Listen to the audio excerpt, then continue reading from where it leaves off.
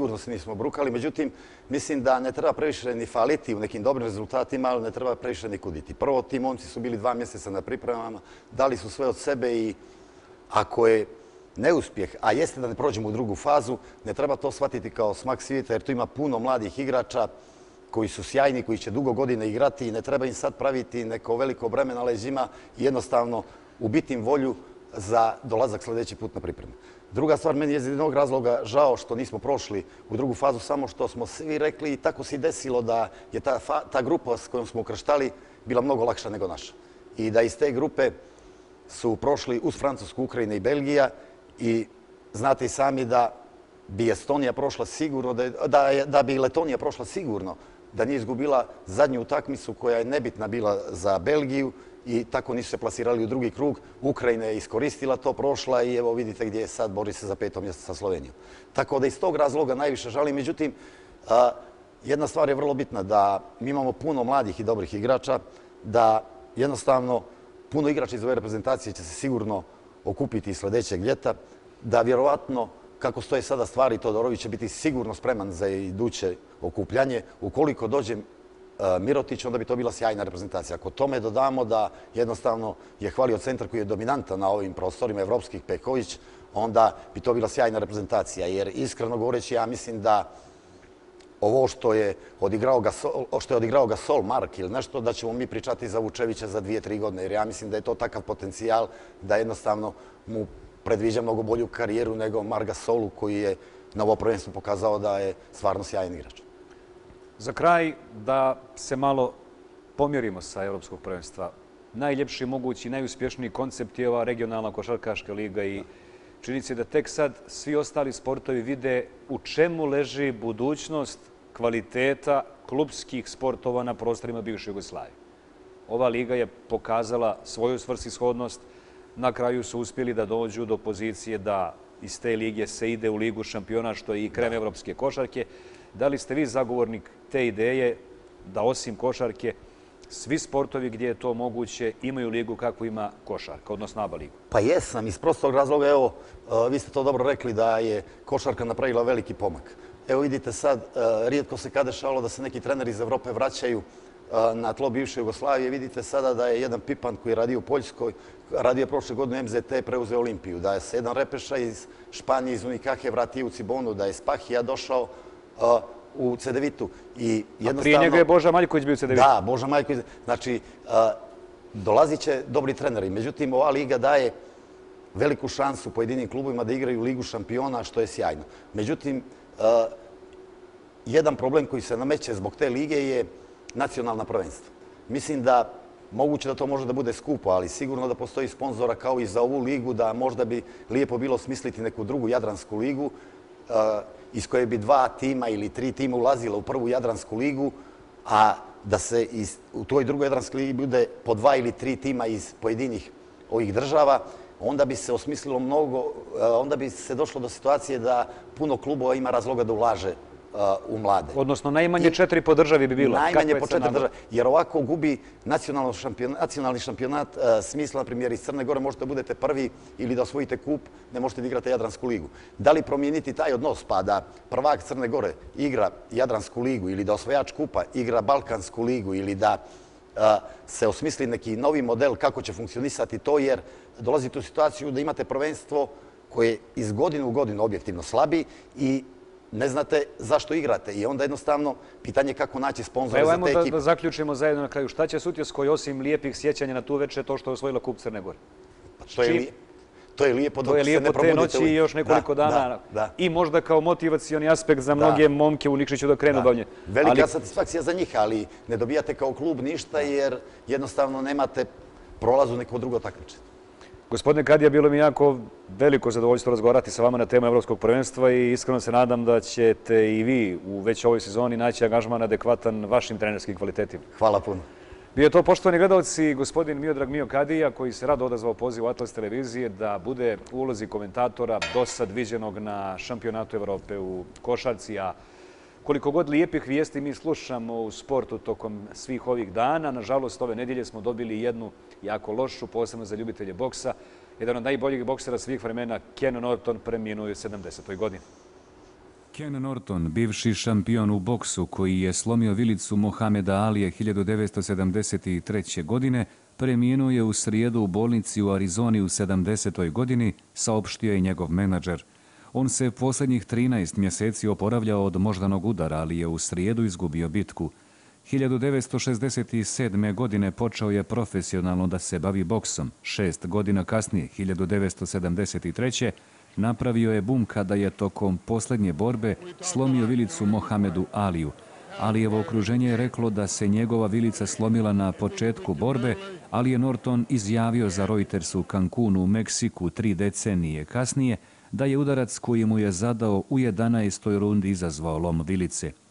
U istoriji je ušao i kao prvi bokser koji je bez borbe osvojio titulu. Naime, 1977. godine ga je svjetsko boksersko vijeće VBC proglasilo šampionom, jer se Leon Spinks odbio boriti protiv njega kao prvog izazivača.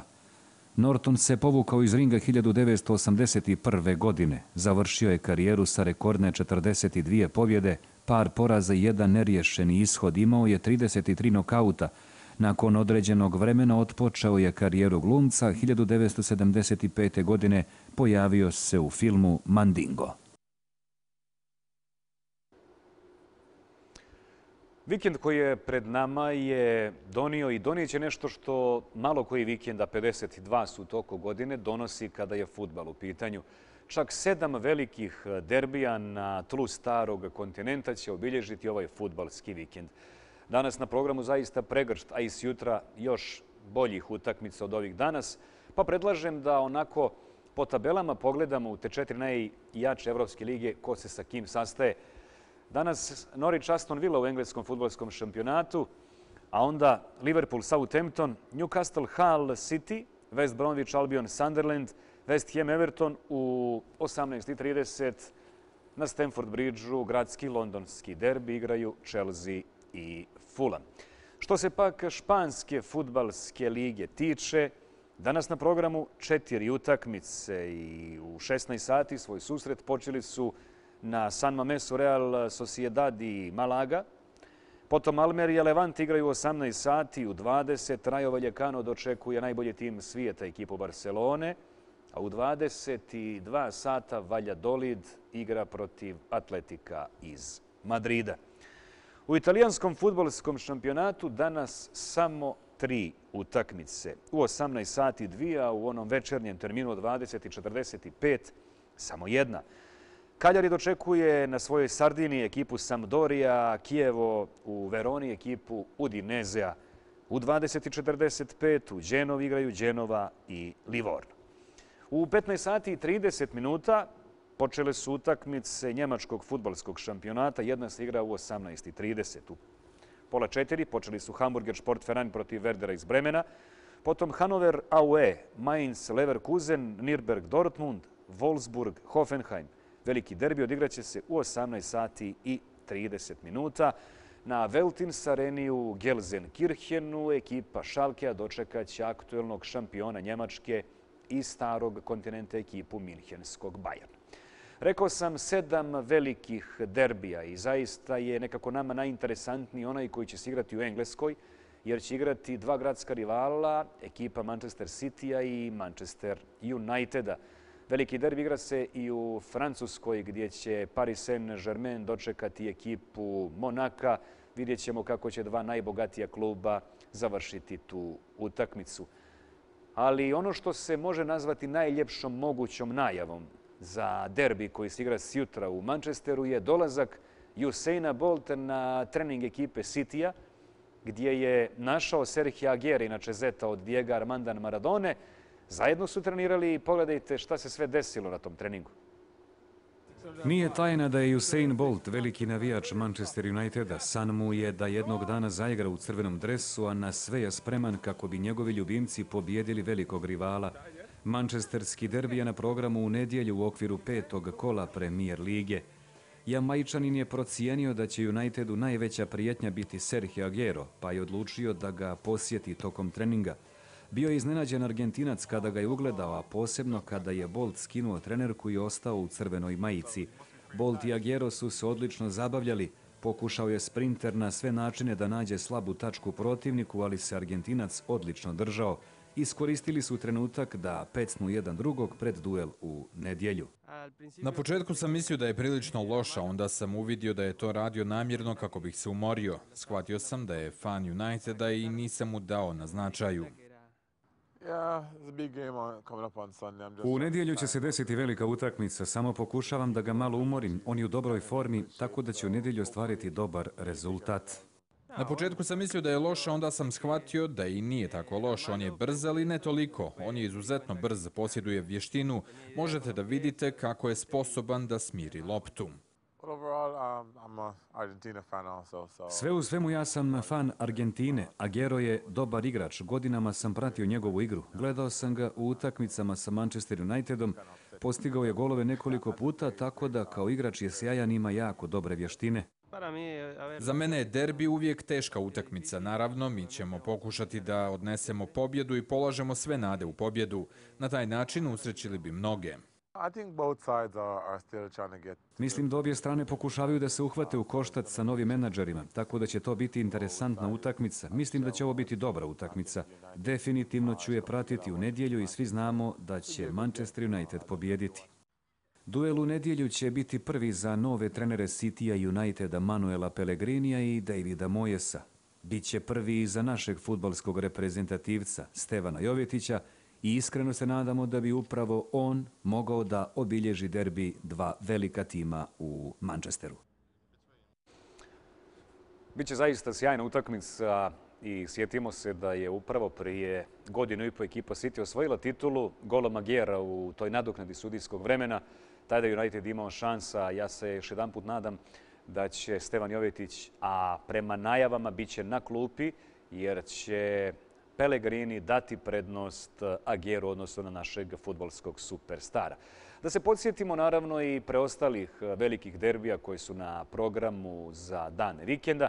Rekao sam, igraće Paris Saint-Germain eh, i Monako u Francuskoj. Veliki derbi za otprilike sat igraće u Gelsenkirchenu, Šalki i Bayern. Gradski derbi s jutra igraju Roma i Lazio i bit će to svakako utakmica svih utakmica kada je u pitanju italijanska futbalska javnost. Posebno kad se ima u vidu podatak da je Toti produžio vjernost na još godinu sa ekipom Rome, izjavivši pritom ja puno volim klub, a i klub voli mene. Još jedan derbi u Italiji igraće Milan e, i Napoli, dva tima koje imaju šampionske ambicije u tekućoj e, sezoni. Što se tiče Holandije, dva najveća futbolska kolektiva PSV Eindhoven i Ajax će također igrati međusobnu utakmicu, a u Turskoj će igrati ekipe Bešiktaša i Galatasaraja. Dakle, sedam velikih derbija po Evropi. A u našem futbolskom šampionatu na programu su utakmice redovnog kola. Imali smo jednu pauzu zbog nastupa reprezentacije. Danas se igra peta, s jutra šesta utakmica prve Crnogorske telekom futbalske lige. Da se podsjetimo i ko igra danas i rezultata sa kraja prvog poluvremena. Ekipa budućnosti je vodila 1 prema 0 protiv Dečića. Mladost i Mogren igraju na kampu na futbalskom e, starom aerodromu. Čelik Mornar e, u Nikšiću bilo je 0-0 kao i u meču Mladost Mogren. Što se tiče meča Rudar Grbalj, bilo je 1 prema 0, a Lovćen je imao negativan rezultat na poluvremenu protiv Petrovca, bilo je 0 prema 1. Za sjutra od 15 sati predviđeno je da se odigra derbi utakmica sedmog kola našeg futbalskog šampionata. Igraće na stadionu u Golubovcima na Trešnici Zeta i Sutjeska, najprijatnije ovo sezonsko futbalsko iznenađenje i naravno aktuelni šampion Sutjeska koja je nakon petodnevnog štrajka igrača ispala iz futbalskog kupa Crne Gore i treba će Nikšićanima malo da se stabilizuju u nastavku sezone. A dobro znate, poštovani gledalci, da svakodnevno u 18 sati možete odgledati informativnu emisiju Forum Atlas televizije tako radnim danima, tako i vikendom. Danas e, je sa vama gospodin Bojan Terzić, urednik informativnog programa Atlas televizije. Iskoristit ću priliku da ga pitam šta gledalci foruma mogu očekivati da vide u 18.